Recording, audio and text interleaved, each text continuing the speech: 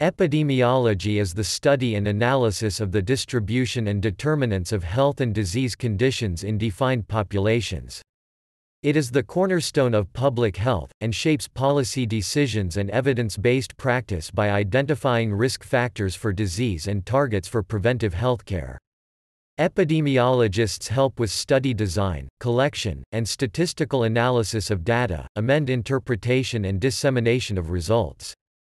Epidemiology has helped develop methodology used in clinical research, public health studies, and, to a lesser extent, basic research in the biological sciences. Major areas of epidemiological study include disease causation, transmission, outbreak investigation, disease surveillance, forensic epidemiology, occupational epidemiology, screening, biomonitoring, and comparisons of treatment effects such as in clinical trials.